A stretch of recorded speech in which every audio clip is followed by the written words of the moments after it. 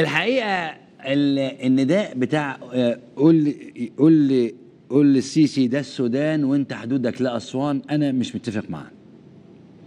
وهذا الشعار الحقيقة يعني في الشعب المصري هيتضايق منك. يعني يا صديقي السوداني اسمع بس كلامي. ي- يعني إذا كان السلوجان حلو وعجبك قول للسيسي ده السودان وانت حدودك بس أسوان. عجبك تمام بس انت هت- هتفقد تأييد الشعب المصري ليك. وحبه ليك. وما تحطش السيسي على المصريين ده انجز خلق الله في المصريين. والله العظيم لو دورت في مصر ما تلاقي انجز من السيسي. واللي بيحبوه. انجز خلق الله مسلمين ومسيحيين. فما تدخلش السيسي في مصر. زي ما إحنا ما دخلناش عمر البشير يا راجل في السودان يعني. الشعب السوداني من أطيب الشعوب. لكن أنت كنت جميل. يعني في لحن أرقى وأحلى من يا سيسي يا حشري. خليك في الكشري.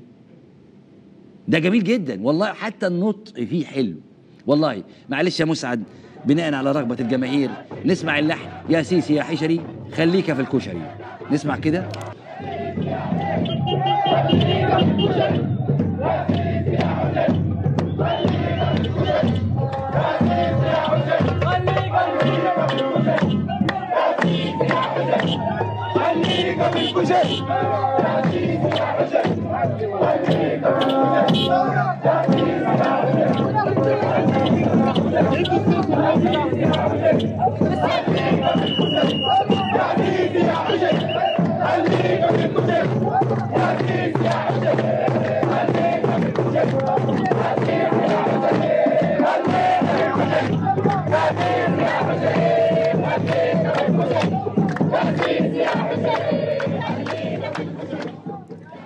على فكرة يعني اللحن حلو جدا عجبني بصراحة والنطق اللهجة حلوة. يا سيسي يا حشري خليك في الكشري.